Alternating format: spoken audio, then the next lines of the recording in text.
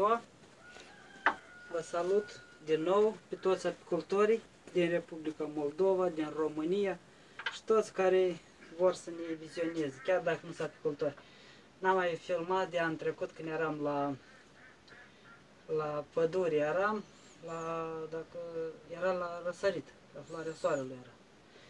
Uh, Vreau să vă arăt ce facem noi acum, pe parcurs. Toată iarna am lucrat și că de acum suntem, suntem în data de 12 martie și vreau să vă arăt ce facem noi. Și am făcut noi toată, toată iarna.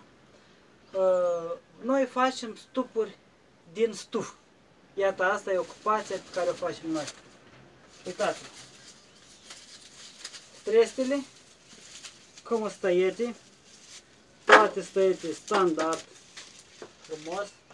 Ca să faci uh, stupul din stuf, îți trebuie prima dată, îți trebuie așa reculiță. Mai scurte, care merg pe dinăuntru. Ne trebuiește așa reică. Ne trebuiește așa reică.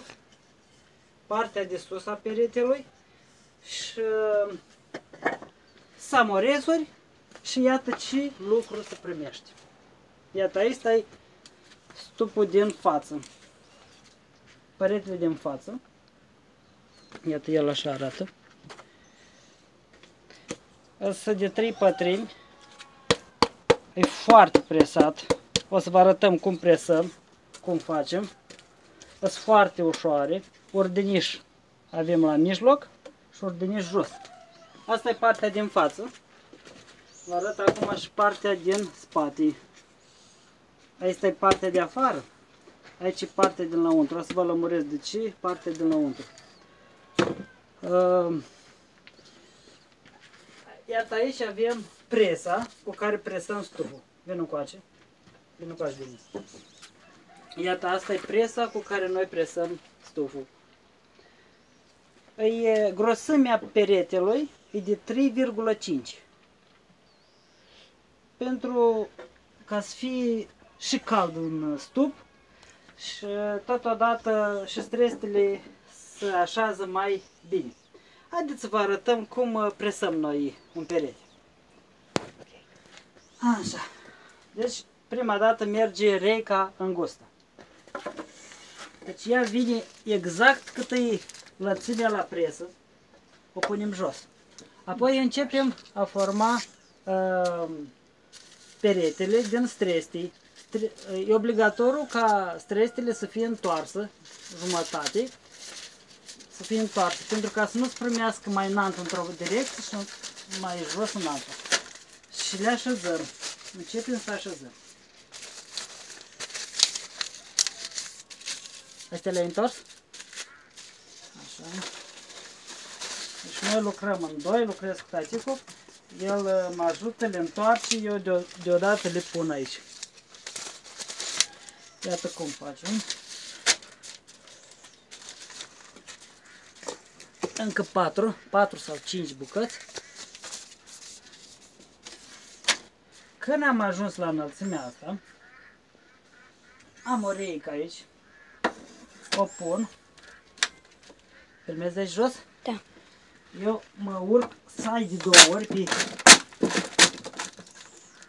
ele, le presez cât pot după greutatea mea, apoi încep iarăși din nou a pune.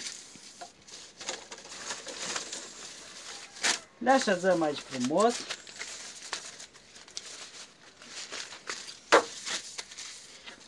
Avem aici săm părul ne clădim. Strestele să alese ca să fie drepte. O să vă arătăm și cu ce instrument le tăiem. Aici probabil că deja ajunge. Iată, acum deasupra punem reica care este mai mare. Așa, acum, uitați ce urmează. Este tot de 3,5 făcut așa o bucată de lemn și aici vine uh, uh, o bucată de metal pe care se învârtește vintul pe care îl învârtim. O punem. Acum punem iar o, o placă de lemn cu metal jos, metal sus și vintul uh, trece prin, uh, prin placa asta de lemn.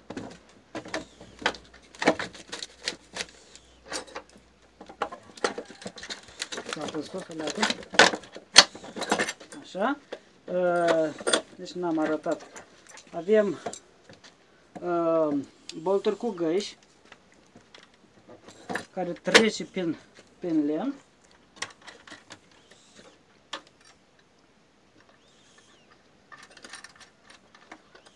Și învârtim. Și strângem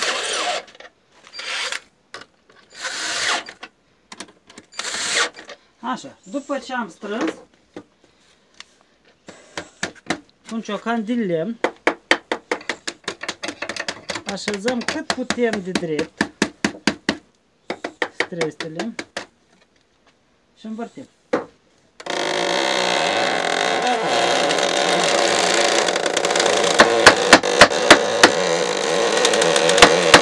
oprim. Am învârtit jumătate, apoi îl urcăm pe masă.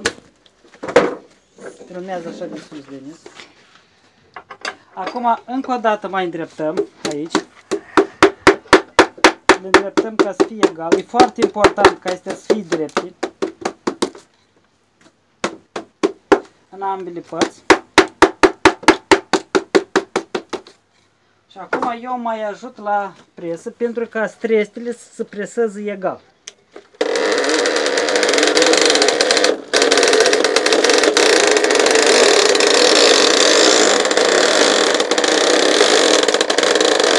gata. Așa. Acum, după ce am presat, mai batem cu ciocanul și ele să, să ducă în locul de presiunea cea mai mică. Deci nu presăm nici tare ca să rămână cămeri.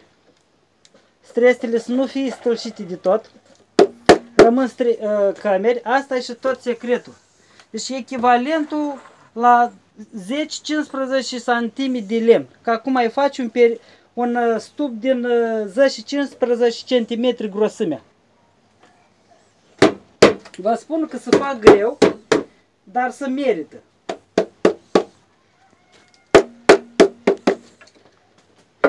Și acum, iată ce facem. După ce l-am presat cum trebuie, aici avem reculițele astea care vi le-am arătat. Prindem deasupra.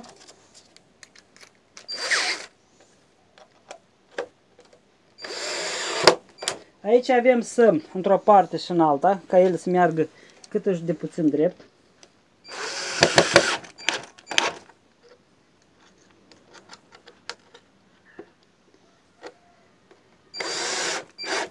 Ele au înclinații ca să îndoare puțin, noi le batem după asta.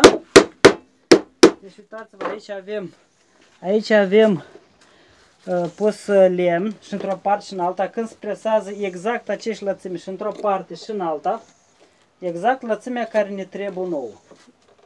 Așa, acum după ce am terminat și întoarcem invers, iarăși din nou mai batem.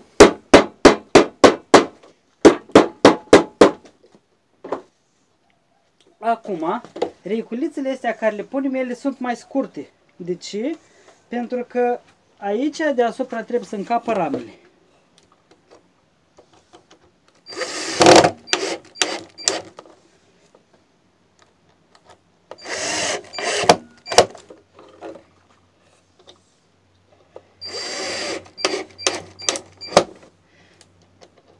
M-am spus că să fac foarte greu, dar să merită, dar ca preț 150 de lei un stup cu de 3 pătrimi cu două caturi deasupra. Dezvârtim.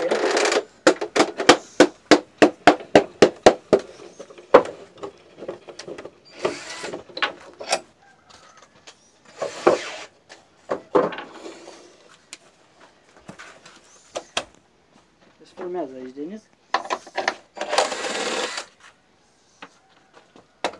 Iarăși le punem pe masă înapoi.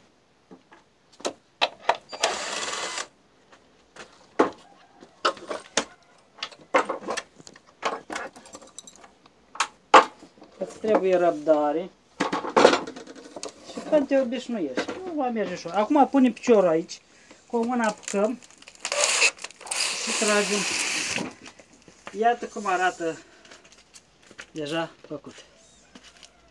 Cred că vă place, alții poate nu le place, dar să știți că ține foarte cald. Am uh, încercat, am pus apă, nici apa nu trece. Deci e foarte presat. Și încă ceva important, uh, condens. Chiar dacă când e uh, o meditate mare în natură, uh, e frig afară, mucegai nu se face. Condens poate să udă, că e normal să facă lucrul ăsta, dar uh, mucegai aici nu avem, pentru că străstea foarte repede să uh, usucă.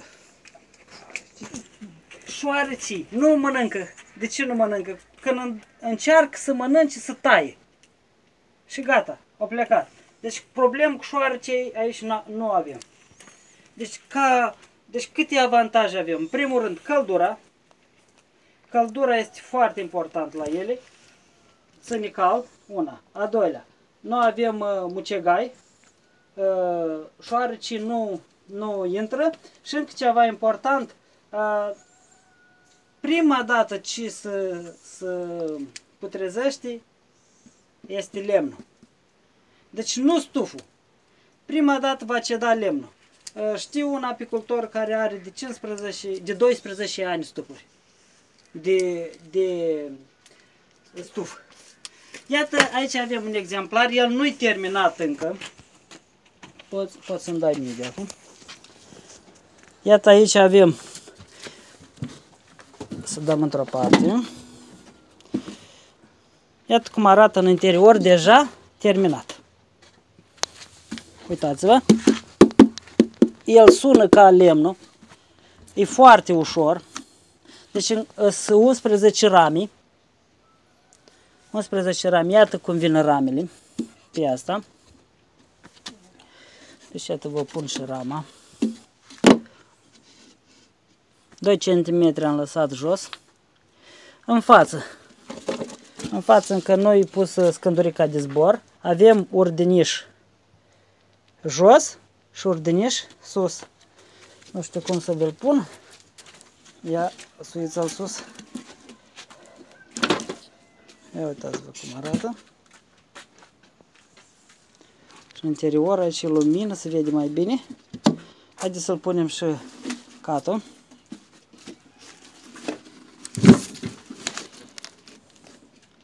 Iată așa. Iată așa arată. E foarte frumos, mie îmi place. Acum, iată acolo toate astea care le vedeți, sunt podețele care se pun deasupra.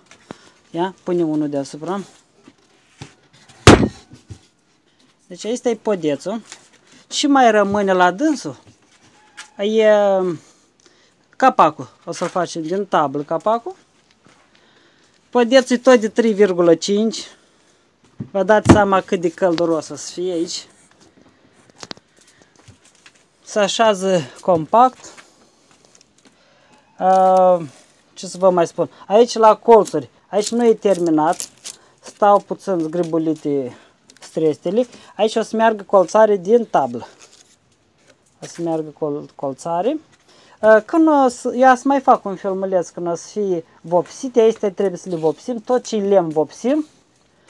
Uh, colțare aici nu se pun, Uh, când la transport aici să faci din, uh, din metal să amorez și să le închidem pentru ca să nu... De ce nu punem colțare?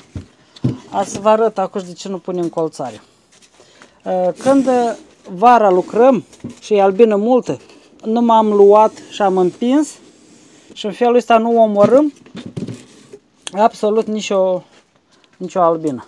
Nu avem timp să, să măturăm albina. Nu m-am împins catul și albina s-a dus. Nu lucrăm cu canturi. Deci așa cum îl vedeți drept.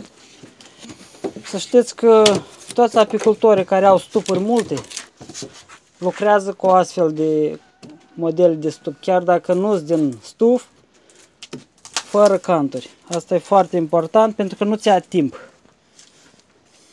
Asta, asta e legat de, de stupurile astea. Acum, iată, aici e aparatul cu care tăiem noi strestii.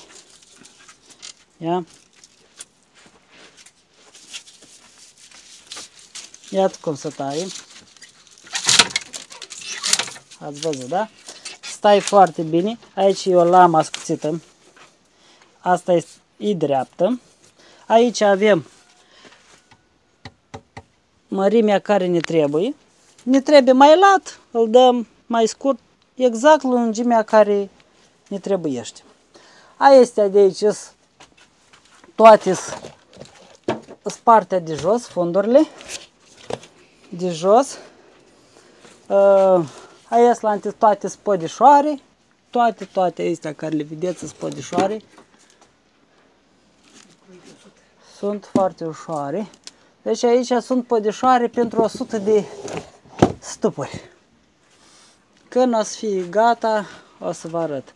O să mai arăt și alte filmulețe ce facem. Am vrut să vă arăt și la, la albini ce mai facem noi acum, dar afară la noi bate un vânt foarte puternic și nu o să înțeleagă nimic din pricina vântului. Doar vreau să vă arăt afară stupina de sus, cum arată.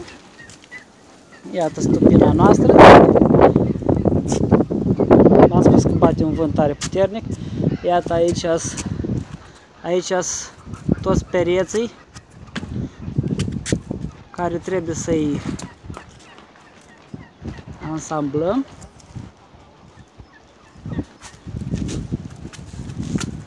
Cam asta am vrut să vă arăt acum.